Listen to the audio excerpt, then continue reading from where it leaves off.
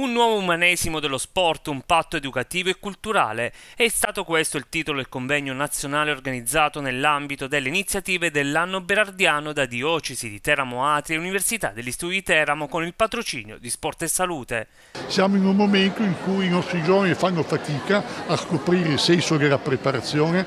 Io spero che anche attraverso l'attività sportiva vissuta nelle parrocchie, in tanti realtà associative della nostra diocesi possa essere una grande occasione per aiutare i nostri giovani a ritrovarsi insieme e soprattutto a scoprire il senso di camminare insieme. All'iniziativa ha collaborato anche il CSI Teramo nell'ambito delle azioni promosse dal progetto Jeans. La testimonianza di Sergio Brio e Fabrizio D'Ottavio sono certamente due testimonianze di, grandi, di, grande rilievo e quindi cercheremo di affrontare queste tematiche in maniera critica, in maniera attenta, eh, in maniera dettagliata perché eh, davvero lo sport può essere analizzato anche come fenomeno eh, sociale, scientifico e, e merita davvero questo spazio accademico e da Teramo oggi partirà questa piccola rivoluzione culturale sullo sport.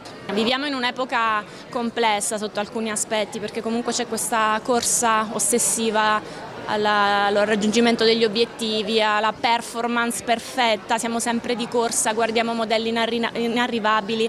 Ora è giustissimo porsi degli obiettivi, però è importante anche capire come fare per rimettere la persona al centro, la persona, l'atleta al centro, con tutti i suoi valori, con la sua personalità, con i suoi sentimenti, con i suoi pregi e i suoi difetti. Quindi ecco, occorre ricentrarsi. E questa mattinata probabilmente sarà molto utile sia per noi diciamo, più grandi relatori al di qua del tavolo che per la nostra platea. È un piacere ritornare in Abruzzo, una bellissima terra. E devo dire che è un messaggio il raccontare come abbiamo fatto ad arrivare a grandi livelli, con i grandi sacrifici dell'inizio da quando si è bambini e poi arrivare a grandi traguardi. È il percorso ovviamente che abbiamo fatto di grandi sacrifici e penso che possa essere utile a questi ragazzi che sono il futuro della nostra Italia.